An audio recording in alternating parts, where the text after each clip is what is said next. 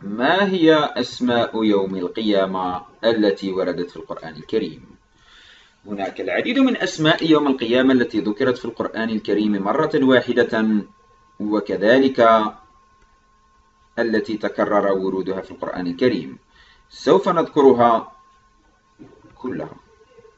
أولا الغاشية. وقد سميت بذلك لأنها تغشي الناس وتعمهم بأهوالها قال الله تعالى هل أتاك حديث الغاشية؟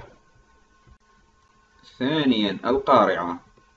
وقد سميت بذلك لأنها تقرع قلوب العباد عندما تأتي عليهم وتفزعهم. قال الله تعالى كذبت ثمود وعاد بالقارعة. الحاقة.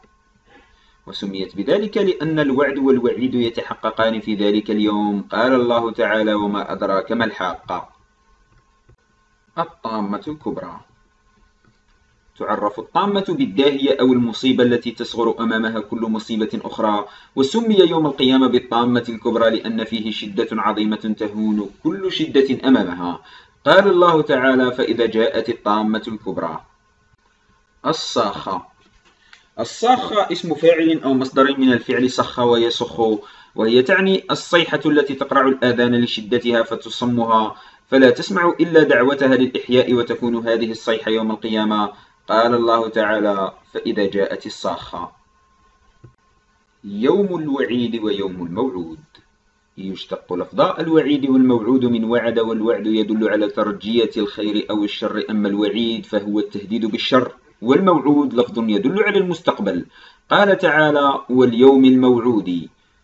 وقال أيضا ونفخ في الصور ذلك يوم الوعيد.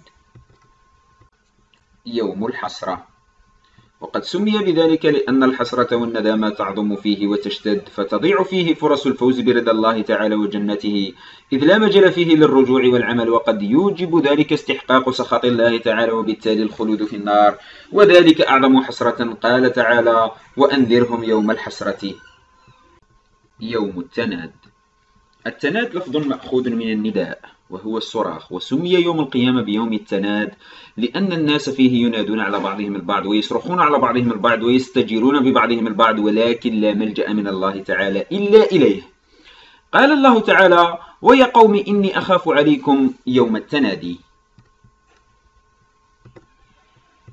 يوم التلاقي.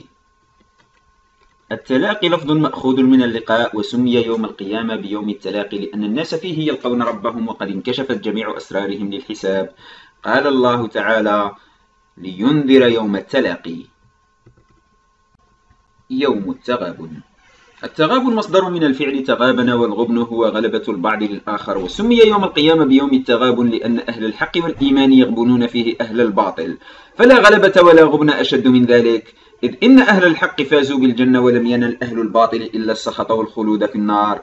قال الله تعالى ذلك يوم التغابن يوم الخلود والبقاء. وقد سمي بيوم الخلود لأنه يوم دائم لا نهاية له فأهل الإيمان يخلدون في الجنة. بينما يخلد أهل الباطل والشرك والنفاق في نار جهنم. قال الله تعالى ادخلوها بسلام ذلك يوم الخلود.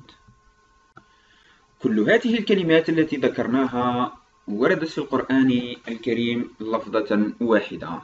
ولكن هناك العديد من أسماء يوم القيامة التي تكرر ورودها في القرآن الكريم كيوم القيامة اليوم الآخر الساعة ويوم البعث يوم الفصل يوم الدين يوم الجمع الآزفة